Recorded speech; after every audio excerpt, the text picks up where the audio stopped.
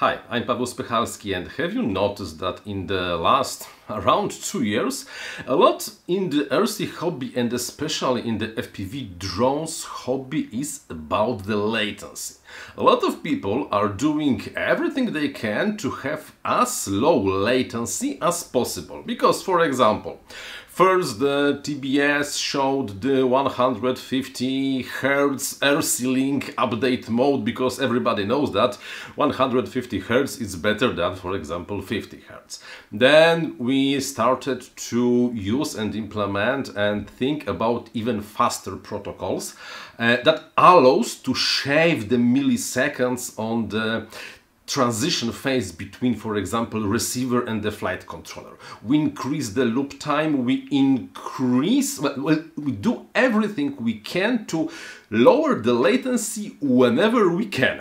And thanks to thinking like that, for example, the upcoming ImmersionRC Ghost uh, radio system um, will, for example, have the Super Race or something like that mode when they will be pushing updates uh, with the rate of 222 Hz. And now the question is, but does it really make sense? Is it really that important to have the RC link with the update rate or 100 or 200 Hertz? Can you feel the difference? This is something else that I will talk in the upcoming months. To today, I will show you only that, well, there is this thing called the physics and inertia and yeah, it's a bitch. This is a quadcopter. This is the 5-inch quadcopter drone that has the motor and the propeller. And we use faster and faster ESC protocols lately not that really much faster, but, but still, protocols to inform the ESCs as soon as possible that the ESC should change the rotation speed of the motor and change the thrust generated by the propeller itself.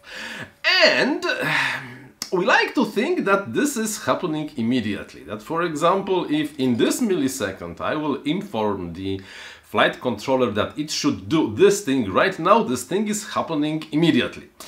Um, I decided to check. I decided to check how much the propeller and the motor stays behind the signal that goes into the ESC. What's the delay of that part of the system? Because with the control loop, we like to think that half a millisecond is too much and uh, 200 kilohertz loop time is too much, but how much the propeller actually stays behind the control signal from the flight controller to ESC? Is it 1 millisecond, 2 millisecond, 20? Maybe it's maybe the response is really immediate.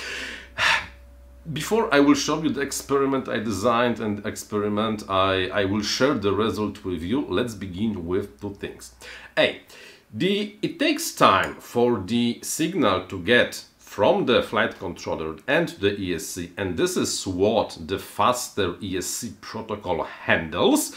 However, if you watched my video about is there is a flight difference between DShot and OneShot125, you might be like kinda, oh, okay, but, but does it really make sense? And it's a completely different issue for the ESC to actually change the rotation speed of the motor. Why? Because ESCA cannot do it immediately when the signal comes because there is the thing called the motor timing and ESC have to find the right spot in the rotation phase of the motor when the magnet is in the correct position relative to the coil and then energize the coil even there. Even if the signal comes in the millisecond one, it ESC might have to wait a millisecond or two or it really depends on the on the rotation speed and the motor itself until it can energize the next coils and start actually increasing the the angular velocity of the motor. And then there is this thing that the rotating propeller is the flywheel. And to change the rotation of the flywheel, rotation speed of the flywheel, you have to feed it the energy you have to constantly feed it the energy. In this case, it's the um, torque applied to the to the propeller to start it spinning faster if you don't know what the in, and this is the moment of inertia uh, of the of the propeller and to decelerate the propeller you have to start taking the energy out of the propeller itself and the faster the propeller is rotating the more energy it has, the more energy is required to put into the propeller to start spinning it, for example, 10% faster. And you have to take more energy of the spinning propeller to slow it down. And this takes time because motors does not have unlimited amount of torque. The torque on the motor is limited. So what I did, I did a very simple experiment. I flashed this very quad with regular flight controller with the ESC telemetry and I recorded a normal flight normal flight. And then I compared what is the delay between the moment when the flight controller starts to inform the ESC that it should change the rotation speed of the motor and the moment when telemetry from the ESC is fed back to the flight controller with the information that yes, right now the, the motor, the propeller is actually changed the rotation speed. And you know what? This is kind of interesting data. And some of you might be really surprised. But let's not go ahead and without further ado, let's take a look at the data. Let's take a look at the data. Like I mentioned in the opening part of the video, I have recorded the flight with the Blackbox and to date now looking at the Blackbox log, we will take a look at two values. The value number one, the top graph, is the output of the flight controller. It is the information from the flight controller to the ESC, how fast it should be rotating the motor. And the bottom graph, which shows the recorded, yes, recorded rotation speed of the motor.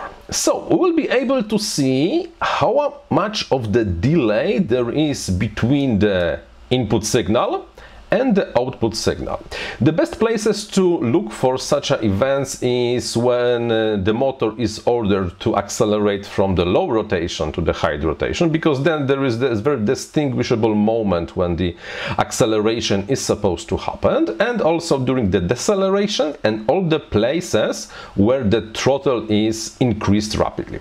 Let's begin with the first event when motor number 4 because we are looking at the, only on the input and the output of the motor number 4 was ordered to change rotation from the idle speed to flight speed. So the event the timestamp when the order of the rotation speed should apply is somewhere here and the timestamp is 1 second 183 milliseconds after R. Now let's observe when is the first moment when motor actually starts to accelerate. So if we move somewhere over here and now we are sure that yeah, acceleration is actually happening, you see it's delayed comparing to this. The timestamp is 214. This thing happened 90 something, so let's say 15 plus 15 around 30 milliseconds later. In this first event we had 30 millisecond delay between the input and the output of the system. So it's quite a long period of time comparing that we are trying to shave for example the only the control link nothing connected with stabilization only the control link from let's say 6 or 9 milliseconds to 4 milliseconds 2 versus 30, you know. Let's search for different places. Okay, for example, here, here the motor number 4 is ordered to start lowering the rotation speed. So the moment timestamp here in the output of the flight controller is 787 but the earliest moment when the motor actually starts lowering the speed is 811 uh, once again around 30 milliseconds later. And every time we everywhere I really was looking for the long time at this long every place when we are Almost, because this, for example, is not recording such an event. In most of the places when we can observe the order of the request to change the rotation speed, there is between 10 to 30, even up to 40, it really depends on the situation and the rotation speed, delay between the input and the output. I can of course show you much more examples like this. For example, here the deceleration, the input is already decelerating 293 for here it's decelerating between those two places for around 50 milliseconds, but only here 50 milliseconds motor really starts to lower the rotation speed. Here exactly the same, you see? Input already picked in this uh, timestamp, but motor is still accelerating because it already fed enough the, of the energy into the propeller. Let's scroll further, let's scroll further here. Exactly the same situation uh, this is 691 versus 6722 once again around 30 milliseconds. We can take a look at this black okay last example. Really guys the last example. Here um, this is beautiful place when this is really visible. The timestamp before the acceleration order is 24004 while the motor really starts to notice anything and change the rotation speed at 24032 once again around 30 milliseconds. And we are not even talking about the delay between the rotation speed of the propeller and the amount of thrust it's generating and the actual beginning of the maneuver when the motors have to overcome the inertia of the frame. Interesting? Yeah, interesting. So, it's not that fast as you might think. So, what's the verdict? The verdict is that I'm not saying that uh, all the latest development in lowering the latency of, for example, the radio control protocols and the as fast S-Bus or the, this new thing in the ImmersionRC Ghost uh, system called Ghost protocol is a bad thing. No, I'm not saying that. However, there is this this practical aspect of if you have 20, 30 or 40 milliseconds of the physical delay on the response time of the system, if you think that you will notice a difference between the control link latency of 9 versus 6 milliseconds versus 4 milliseconds, and then yeah, probably you will not really notice. Yes, faster processing of some of the stuff really makes sense. Because for example by uh, increasing by, by, making the Nyquist, frec Nyquist frequency higher you prevent the negative aspects of for example aliasing and you can really filter some frequencies and you really do lower the delay between your stick input and the output.